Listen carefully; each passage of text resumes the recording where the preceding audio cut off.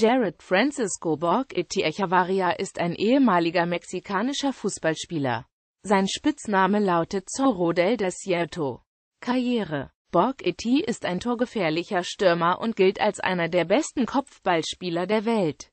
Obwohl er bereits nach der WM 2002 viele Angebote aus Europa erhielt und den italienischen Pass beantragte, da er italienische Großeltern hat, blieb er in Mexiko. Borghetti spielte 2005 beim mexikanischen Club in Pachuca CF. Nach seinem starken Auftritt in Deutschland wurde er zunächst mit den Bundesligisten Eintracht Frankfurt und Hertha BSC in Verbindung gebracht, wechselte aber schließlich nach England zu den Bolton Wanderers. Nach einem kurzen Gastspiel beim sautischen Club Al Ittihad kehrte er 2007 zurück nach Mexiko und spielte für CRUZ Azul die Aperture 2007. Am 21. Dezember 2007 wechselte er zu CF Monterrey und spielte die Clausura 2008 für diese Mannschaft. Nach Stationen bei Deportivo Guadalajara und Puebla FC landete er zu Jahresbeginn 2010 bei Monarcas Morelia.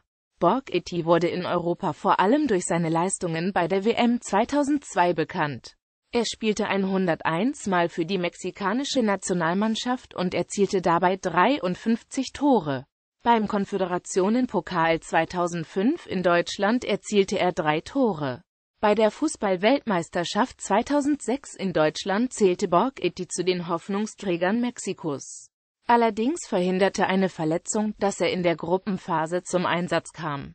Als er sein erstes WM-Spiel 2006 gegen Argentinien bestritt, machte er ein Eigentor zum 1:1. Trotzdem war er aufgrund seiner Kopfballtore gefürchtet. Sein letztes Länderspiel machte er am 21. Juni 2008 beim 7:0 gegen Belize, wobei ihm noch zwei Tore gelangen